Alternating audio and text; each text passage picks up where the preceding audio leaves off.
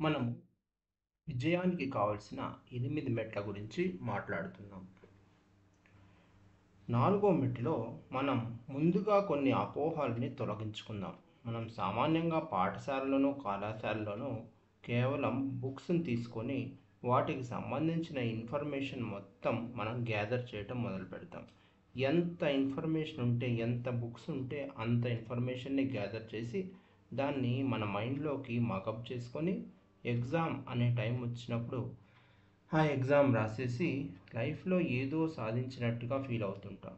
కానీ యాక్చువల్లీ చదువు అంటే అసలు మనం పాఠశాలలో కళాశాలలో చదువుని నేర్చుకుంటున్నామా? లేక ఇంకేదైనా చేస్తున్నామా?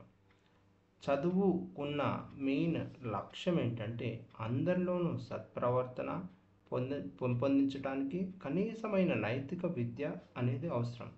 సత్ప్రవర్తనకు సంబంధించిన ప్రాథమిక లక్షణాలు ఉంటేనే చదివినట్టు లెక్క. అంటే సత్ప్రవర్తన దేంతో వస్తుంది అంటే నిజాయితీ దయ దైవము ధైర్యము దీక్ష దక్షత. ఇలాంటి మంచి మంచి విలువలు ఉంటేనే మన ఎవరైతే ఏ ఏ మనిషి అయితే చదువు చదువుతో పాటు ఆ చదువుకున్న విషయాన్ని ఉపయోగించటం మరియు మా నైతిక విలువలు పాటిస్తాడో అతన్ని మాత్రమే మనం పరిపూర్ణమైన విద్యార్థి అని పరిపూర్ణంగా చదువుకున్న వాడని అంటాం. ఆ నైతికపరమైన విద్య లేని వ్యక్తి బడి చదువులో ఎంత రాణించినా విజయం సాధించినా ఉపయోగం లేదు. నిజమైన చదువు బుద్ధికి మనసుకి కూడా శిక్షణనివ్వాలి చదువు సంధ్యలు లేని దొంగ రైల్వే ఒక బోగిని మాత్రమే దొంగిలిస్తే చదువు ఉన్నవాడు రైల్వే మొత్తం డిపార్ట్మెంట్నే దోచుకోగలడు. సంపాదించుకోవటానికే పోటీ చేయాలి తప్ప మార్కులు గ్రేడ్ల కోసం కాదు. పరిజ్ఞానం అంటే సమాచారాన్ని సేకరించటం. వివేకం అంటే దాన్ని వినియోగాల్ని సులభంగా చేయటం. మంచి మార్కులు సంపాదించి పెద్ద డిగ్రీ కూడా సంపాదించి పెద్ద డిగ్రీని కూడా పొందవచ్చు కానీ పెద్ద ఎక్కువగా ఏమీ నేర్చుకొని ఉండకపోవచ్చు. ఒక వ్యక్తి నేర్చుకోవాల్సిన అతి ముఖ్యమైన విషయం ఏంటంటే ఎలా నేర్చుకోవాలో తెలుసుకోవటం. బుద్ధిని నైతిక విషయాల్ని ప్రమేయం లేకుండా చదువు ద్వారా పెంచటం వల్ల సమాజంలో పిచ్చివాళ్ళని తయారు చేస్తూ ఉంటాం. పరిజ్ఞానం అనేది కేవలం పరిజ్ఞానం ఉంటేనే అది శక్తి కాదు. మనం చాలాసార్లు పరిజ్ఞానమే శక్తి అనే మాట వింటూ ఉంటాం కానీ అది నిజం కాదు.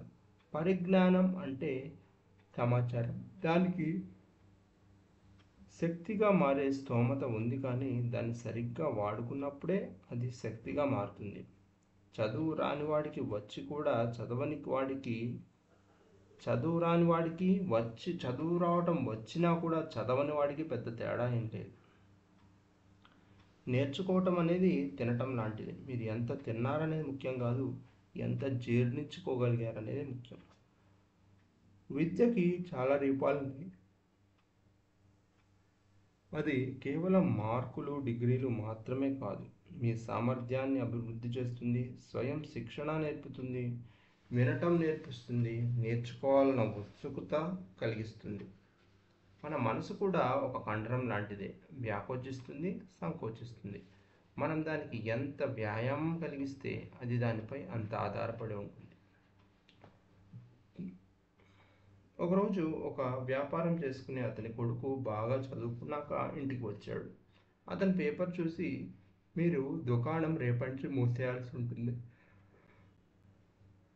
ఎందుకంటే మీరు రేపటి నుంచి ఆర్థిక మాంద్యం మొదలవుతుంది అని చెప్పాడు.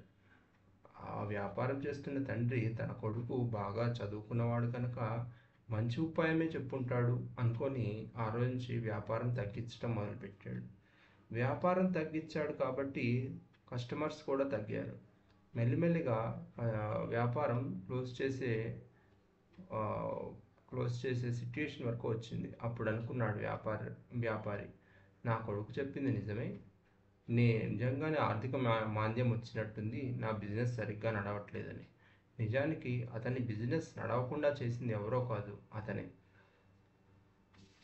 సో చదువుకొని కూడా ఉపయోగం లేని వాళ్ళకి ఇది ఒక మంచి ఎగ్జాంపుల్. ఈ కింద చెప్పిన ఐదు గుణాలు కలిగి ఉంటే చదువు సంధ్య నేర్చుకున్నా నేర్చుకోకపోయినా ఒక వ్యక్తి విజయానికి స విజయాన్ని తప్పకుండా సాధించగలడు. మంచి నడవడి నిబద్ధత దృఢ నమ్మకం మర్యాద పాటించటం ధైర్యం.